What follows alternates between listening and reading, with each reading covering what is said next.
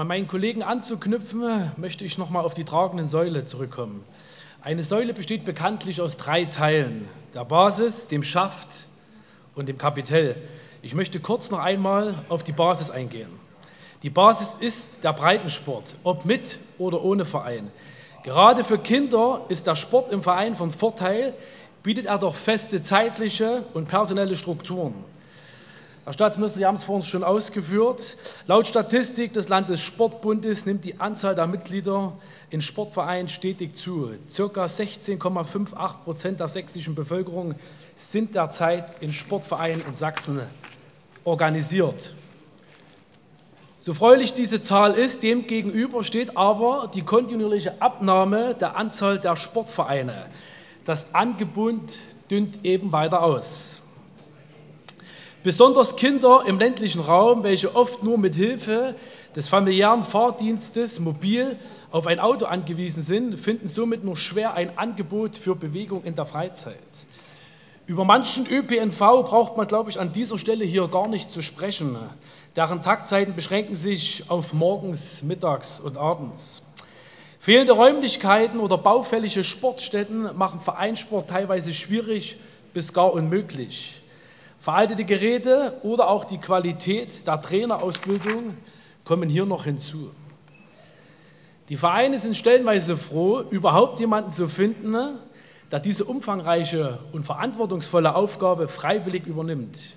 Doch stimmt die Chemie zwischen Trainer und Kind nicht, kann auch dieses ein Motiv sein, den Sportverein vor Ort nicht beizutreten.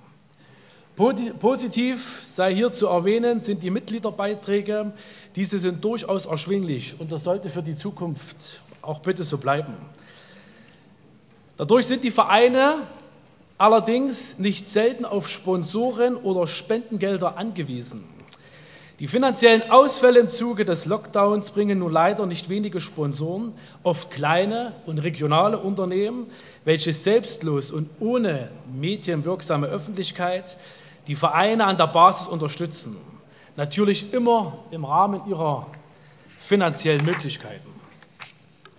Muss jemand um die eigene Existenz fürchten, bleibt für Sonderausgaben leider kein Spielraum. Da hilft selbst der gute Wille nicht.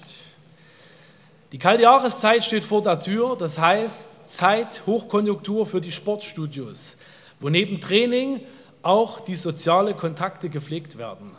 Auch diese haben mit den Folgen der wochenlangen Schließung zu kämpfen gehabt. Betrachten wir nur einmal den Schulsport. Für manche Kinder das einzige Muss, sich körperlich aktiv zu betätigen. Mit der Einführung der neuen Lehrpläne ab dem Schuljahr 2019-2020 erfolgt in den Klassenstufen 7 bis 10 unter anderem die Kürzung des Schulsportunterrichtes zugunsten der sogenannten politischen Bildung. In Klassenstufe 4 der Grundschule wurde Sport um jeweils eine Wochenstunde gekürzt, um die Schüler zu entlasten. Ausgerechnet Sport oder dient das eher die Reduzierung des Lehrermangels? Gestatten Sie eine Zwischenfrage? Nein, hinterher. Bei einer. Nein. Danke, Herr Lippmann, für die Aufmerksamkeit. Ich fahre fort. Bei einer durchschnittlichen Anzahl von Schulwochen sind das 40 Unterrichtsstunden pro Schuljahr und Klassenstufe. 40 Stunden, in denen die Kinder auf ihren Stühlen sitzen bleiben. Kindern, von denen jedes siebte Kind bereits übergewichtig oder sogar fettleibig ist. Kinder, deren körperliche Fitness seit 1995 bei Jungs um 20 Prozent und bei Mädchen um 26 Prozent zurückgegangen ist. Kinder, welche selten durch stärkere Mediennutzung von Haus aus unter Bewegungsmangel leiden. Kinder, welche motorische Defizite aufweisen, sich nicht konzentrieren können und so zwangsläufig schulische, äh, schlechtere schulische Leistung erbringen. Schulische Leistung hat Einfluss auf die Berufsmöglichkeiten und wirkt sich auf das gesamtere spätere Leben aus. Hier brauchen die Kinder wieder Leuchttürme, heißt Vorbilder im Sport, Vorbilder im Leben. Jemanden, dem man folgen möchte und vielleicht sogar so sein will wie er. Jemand, der mit Anstrengung und Leistungsbereitschaft zum Ziel gekommen ist. Doch hier bekämpft man wieder nicht die Ursache, sondern leider nur die Wirkung, indem man Anforderungen und Maßstäbe zunehmend an das sinkende Niveau anpasst. Ein Beispiel aus dem Freistaat. Polizeianwärter bekamen äh, beim Sporttest eine zweite Chance, nachdem die Theorie erfolgreich bestanden wurde. Ich glaube, fünf bis zehn Jahre zurückdenken, ein Ding der absoluten Unmöglichkeit. Ich spreche auch hier aus eigener Erfahrung. Ich kann auf zehn Jahre Ausbildertätigkeit bei der Bundeswehr zurückgreifen. Das sportliche Niveau unserer Jugendlichen ist gesunken. Die Bereitschaft, manchmal über die eigenen Grenzen hinauszugehen, war bei den wenigsten zu erkennen. Man merkt es halt immer wieder, es geht auch ohne die nötige Bereitschaft. Einen Ausgleich der Kürzungen im Fach Sport sollen die Ganztagsangebote in den Schulen erbringen. Da bedarf es da. Auch hier ein Beispiel. Ein Bekannter hält GTA-Sport in verschiedenen Schulen im Erzgebirge. Er kann die Kinder begeistern zum Sport betreiben, aber er fordert ihnen durchaus einiges ab. Es hat sich herumgesprochen, die Qualität stimmt eben. Und wissen Sie was? Die Kinder haben Spaß daran und wollen es freiwillig. Er kann sich kaum vor Teilnehmer retten und die Eltern möchten, dass ihre Kinder dort mitmachen. Schöne Sache, leider zu selten. Nun könnte man annehmen, es sei alles in Ordnung. Oft werden solche sportlichen Möglichkeiten nur von den Kindern in Anspruch genommen, welche sich ohnehin gern bewegen. Für Schüler, welche körperliche behabigt bzw. dick und bequem sind, haben auch die tollsten Sportangebote gegen das Sofa und einschließlich der Spielkonsolen leider keine Chance. Nicht wenige von ihnen leiden, leiden, leiden bereits jetzt schon an Herz-Kreislauf-Erkrankungen oder sogar an Gelenkbeschwerden. Gerade diese Gruppe hätte mehr regelmäßige Sportstunden am, nötigen, am nötigsten. Hier werden sie wenigstens zeitweise zu ihrem Glück gezwungen, wie man es so schön sagt. Laut Ihrem Koalitionsvertrag, Herr Staatsminister, wollen Sie das Konzept bewegte Schule im Sinne der Bewegungsförderung ausbauen. Ob Lehrermangel und hohe Stundenausfälle aber nebenher Zeit lassen für Einführungskurse, Lehrerfortbildungen, Befragungen und Berichte zum Thema um das in Aussicht gestellte Zertifikat zu erhalten, darf bezweifelt werden.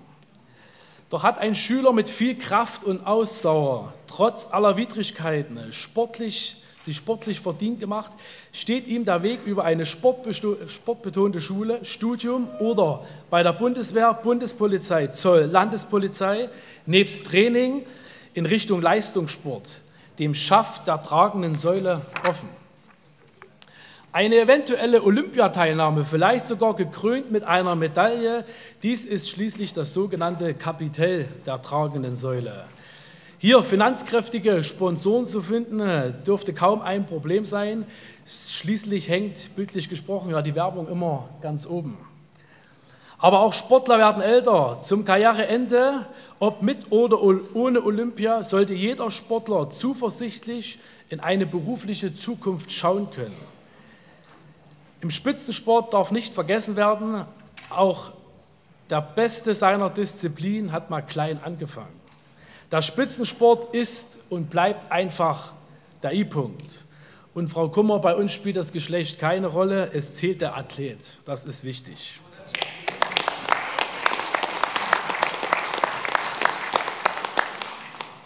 Daher muss der Sport in Sachsen von unten nach oben auf gesunden Beinen stehen. Herr Staatsminister, keine Augenwischerei, hier sollten Taten folgen. Stärken Sie das bröckelnde Fundament Ihrer sogenannten tragenden Säule und wichtig, stärken Sie den Breitensport und das Ehrenamt. Das muss unser gemeinsames Ziel werden, mehr Menschen zum Sport bewegen. Und zum Schluss noch eins, äh, Frau Tendler-Waldenta, danke für Ihre Einführung. Ich hätte mir das bildhaftig sehr gerne vorgestellt, wenn die Staatsregierung letztes Jahr Dynamo Dresden unterstützt hätte und es geschafft hätte, vielleicht, dass Martin Dulich der, der Tormann ist bei Dynamo Dresden, dann hätte ich mir vielleicht sogar gerne nochmal die Fußballschuhe übergezogen, um bei Ihnen ein Tor rein ins Netz zu schmeißen. Meine Damen und Herren, ich danke für Ihre Aufmerksamkeit und ich möchte an dieser Stelle noch einmal im Namen der AfD-Fraktion alle herzlich dem Ehrenamt für Ihr Engagement bedanken. Vielen Dank.